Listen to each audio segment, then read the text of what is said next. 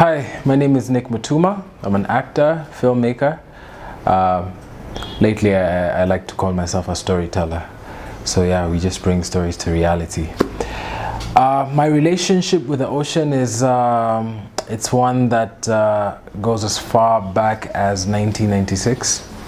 I uh, actually grew up in a coastal city, Dar es Salaam, which is uh, right next right next to the ocean and um, you know the ocean provided a place for us to play. It was recreation. We ate a lot of seafood.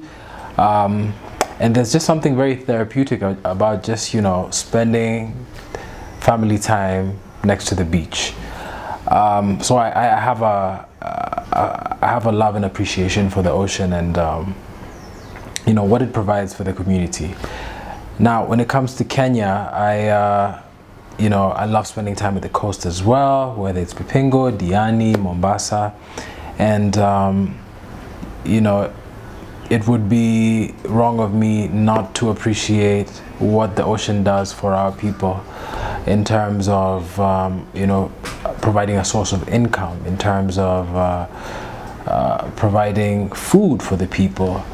Um, even tourism now is uh, is a big um, income earner for our economy. I am concerned about how our ocean is being treated. Um, I think there needs to be a bigger effort into conserving our ocean and it needs to come from us young people because if we are not taking care of the ocean then who will you know the ocean is uh, it's where we find food it, it's also providing um, it's a place where we're making money you know? So it, it's and it's just i mean it's just a place where we can we also just enjoy and, and celebrate. So i think that there needs to be a more deliberate effort in into us looking after it. As a young person i'm definitely concerned about um, how our ocean is being taken care of the conservation of our oceans. Um, it, you know, it's the ocean is, is, is, is a special place. It provides food uh, for our people. There's a lot of money that comes from tourism that's generated from our oceans. So it's important that we take care of it. It's important that um, a deliberate effort goes into looking after our ocean. And it's up to us young people to, to own that space. Um, I'm sure you're all aware about the blue economy and um, just the fact that you know there's a lot of money that's generated from the ocean. So if the fish die, for example, you know that that will affect millions of people. You know, not only with um, you know a lack of food, but also just you know a, a lack of making income. So it's it's uh, it needs to be looked after. It needs to be protected um, and uh, we are the ones to do it.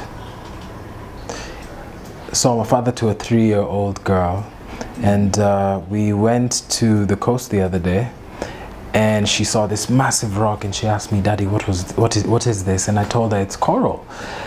Um, and you know, a thought hit me that, you know, this coral was dead, and you know, it's just lying on the beach, and you know, young people like my daughter may not even get to see real coral alive. It's a scary thought um, because we as humans are, you know, we're ruining the, the ecosystem in the ocean. So if we want future generations to enjoy what we have had the privilege to enjoy, I think it's really vital, it's, it's um, imperative that we protect our ocean and as young people it's up to us to take charge you know? It's it, i feel like it's just a matter of just educating ourselves a little more and just spending a little more time.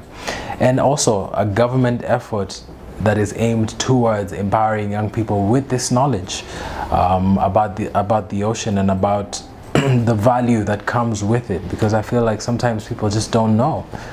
Um, so yeah, my message to young people would definitely just be to be ambassadors of change and to just, you know, uh, take it upon themselves to to take care of the ocean. You know, very little efforts go a long way. You know, collecting uh, little plastic bags that are on the ocean um, makes a world of difference. You know, it's not it's not necessarily you know the big things, but the but I will challenge you know the government to also just you know facilitate in, in, in creating programs that that not only educate young people about uh, conserving the ocean, but also um, you know programs that uh, that that perhaps even teach young people how to fish the correct way. You know, um, you know programs that uh, that educate young people on how to carry out whatever activities they want to carry out in the ocean, but in a way that doesn't affect the ocean.